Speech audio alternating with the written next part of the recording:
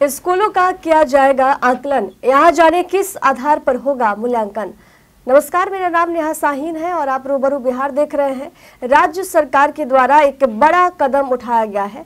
ये कदम राज्य के सभी सरकारी स्कूलों में शिक्षा की गुणवत्ता और बच्चों की समग्र को सुनिश्चित करने के लिए उठाया गया है। बिहार के शिक्षा विभाग के अपर मुख्य सचिव एस सिद्धार्थ ने सभी जिला शिक्षा पदाधिकारियों के लिए आदेश जारी किया है। ये आदेश अब से सरकारी स्कूलों में रैंकिंग करने हेतु जारी किया गया है। राज्य के सभी सरकारी स्कूलों में साल में दो बार आकलन किया जाएगा। पहला आकलन साल के मार्च महीने में किया जाएगा तो वही दूसरा आकलन नवंबर महीने में किया जाएगा।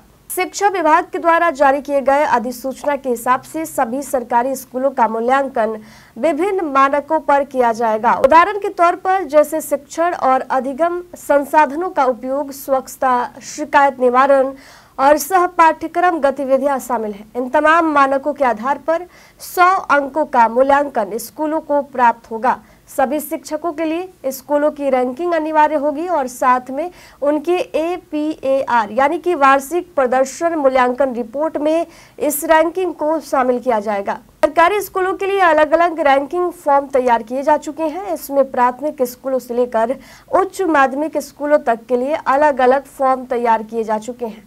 इन फॉर्म्स को स्कूलों में प्रधानाध्यापक तथा शिक्षक द्वारा वितरित करने का निर्देश जारी किया गया है।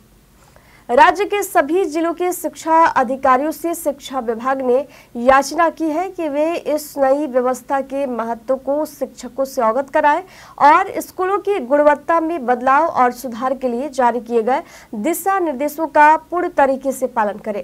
शिक्षा विभाग को विश्वास है और उम्मीद भी है कि ये कदम जो राज्य सरकार द्वारा उठाया गया है, इससे सरकारी स्कूलों में शिक्षा की गुणवत्ता स्तर को सुधारने में तथा बच्चों के समग्र विकास में काफ़ी सहायता मिलेगी